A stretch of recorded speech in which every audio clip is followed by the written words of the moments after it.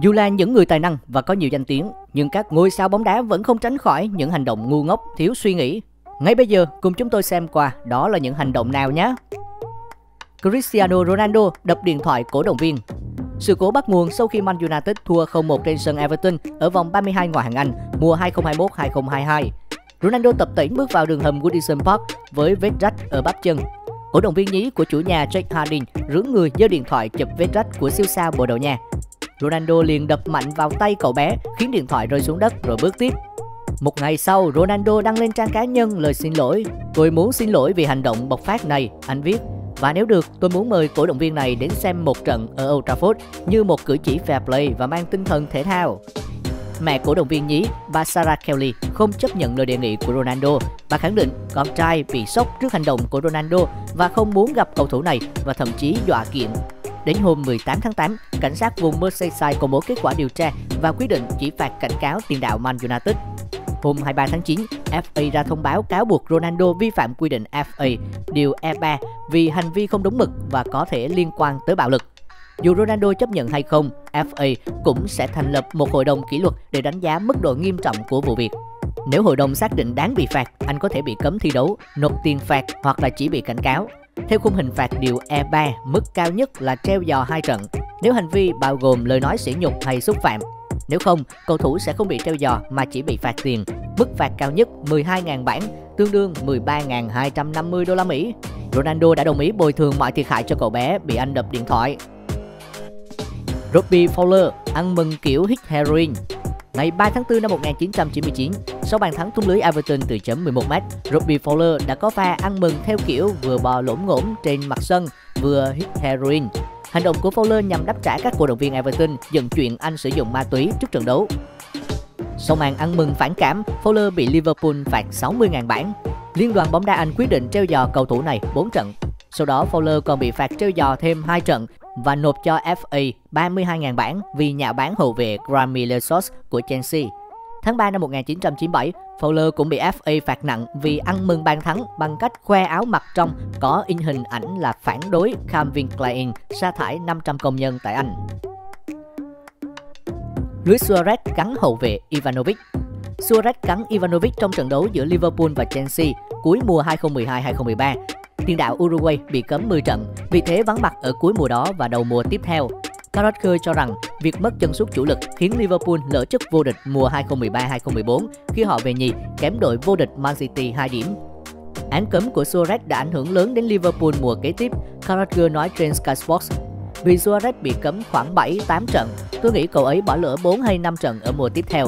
Đó là mùa mà Liverpool suýt giành chức vô địch, còn Suarez là cầu thủ hay nhất câu lạc bộ. Có hai trận Liverpool đánh rơi điểm, tôi nhớ là thua Southampton 0-1 và bị cầm hòa trên sân Swansea. Liverpool đã đánh rơi 5 điểm trong 4 hoặc 5 trận khi Suarez không vào sân. Với phong độ của cậu ấy lúc này, cơ hội để Suarez xoay chuyển kết quả là hoàn toàn có thể. Vụ cắn Ivanovic là án cấm của cậu ấy, ảnh hưởng nhiều hơn đến mùa giải tiếp theo của Liverpool.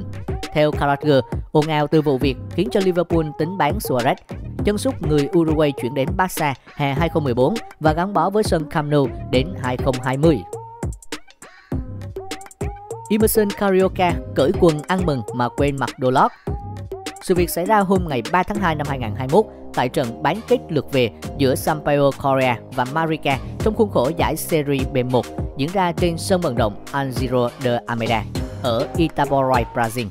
Vì quá phấn khích khi mà thực hiện cú sút phạt mang về bàn thắng, cầu thủ Emerson Carioca đã xé toạc áo, cởi phăng quần, ăn mừng ngay lập tức và để lộ nguyên bàn tọa cùng phần nhạy cảm về phía khu vực ban huấn luyện đội đối thủ.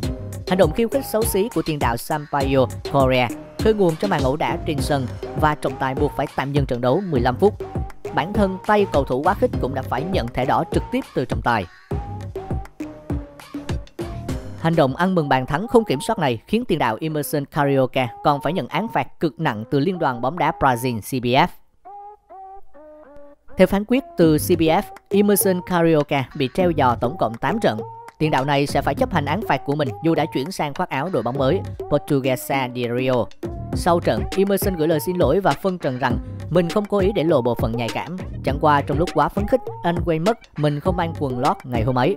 các cổ động viên Marica đã liên tục chế nhạo và dùng những lời lẽ phân biệt chủng tộc nhắm vào tôi ở cả những trận đấu trước đó. Điều đó khiến tôi rất bực tức, dẫn đến màn ăn mừng phản cảm. Tôi muốn cầu xin sự tha thứ từ người hâm mộ Sampaio Korea, các đồng đội và cả những thành viên và fan Marica về hành động không đúng mực của mình. Chân sút sinh năm 1995 nhận lỗi.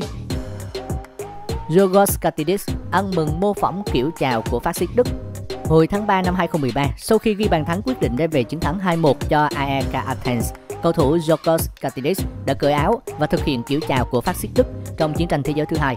Cuộc chiến mà đất nước Hy Lạp đã phải gánh chịu rất nhiều đau thương, tổn thất. Pha ăn mừng này đã gây nên nhiều phản ứng từ các chính trị gia và tạo ra một hiệu ứng dư luận phẫn nộ rộng trên toàn thế giới, đặc biệt trên các mạng xã hội Twitter và Facebook. Sau đó, Liên đoàn bóng đá Hy Lạp đã chính thức đưa ra quyết định cấm thi đấu suốt đời ở mọi cấp độ đội tuyển với tiền vệ trẻ Georgios Katidis của AEK Athens. Quyết định này được đưa ra rất nhanh sau một cuộc họp bất thường của Ủy ban điều hành Liên đoàn bóng đá Hy Lạp. Trong thông báo của mình, người phát ngôn của Liên đoàn bóng đá Hy Lạp cho biết, đây là một sự xúc phạm sâu sắc đến đất nước Hy Lạp cũng như tất cả những nạn nhân của chủ nghĩa phát xít. Đội bóng nổi tiếng của Hy Lạp đã yêu cầu Katidis đưa ra lời xin lỗi sau hành động này và cho biết đang xem xét hình thức kỷ luật với cầu thủ của mình. Trong khi đó, Katidis chia sẻ trong giây phút quá vui mừng, anh không hề để ý đến ý nghĩa của hành động này, mà chỉ cố gắng chỉ vào người đồng đội Pavlis của mình trên khán đài. Dù sao lệnh cấm đã được đưa ra và cầu thủ đầy triển vọng của bóng đá Hy Lạp sẽ phải chia tay ước mơ được thi đấu trong màu áo đội tuyển quốc gia chỉ vì một hành động thiếu suy nghĩ. Richard Leeson xăm hình Neymar trên lưng Richard Leeson hôm 14 tháng 12 chia sẻ trên Instagram bức ảnh cho thấy hình xăm mới trên lưng Hình xăm khắc họa gương mặt Richard Leeson ở giữa, bên trái là huyền thoại Ronaldo Nazario và bên phải là tiền đạo Neymar của đội tuyển Brazil. Phía dưới lưng cầu thủ này còn có hình xăm một bé trai mặc áo đấu của Richarlison, đội mũ lưỡi trai đang nhìn vào khu ổ chuột. Như nhiều cầu thủ Brazil khác, Richarlison cũng sinh ra tại một khu ổ chuột và vươn lên bằng niềm đam mê với trái bóng. Hành động của tiền đạo đang khoác áo Tottenham vấp phải nhiều ý kiến phản đối.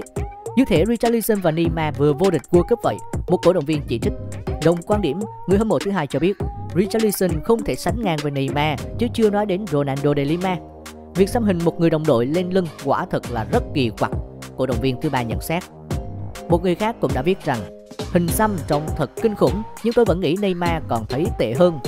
Fan khác nhận xét, tôi không thể tiêu hóa nổi hình xăm này của Richarlison và hành động xăm mình của Richarlison dường như không gây ấn tượng với Neymar, người được cho là đã gửi cho đồng đội một khoản tiền khổng lồ để mà xóa khuôn mặt của anh khỏi hình xăm đó. Cụ thể Neymar đã đưa cho Richarlison 30.000 euro nhờ người đàn em xóa gương mặt của mình đi. Vừa rồi là những hành động ngu ngốc mà các cầu thủ bóng đá đã từng thực hiện. Đừng quên để lại bình luận sau khi xem hết video nhé. Còn bây giờ, xin chào và hẹn gặp lại ở những video mới nhất.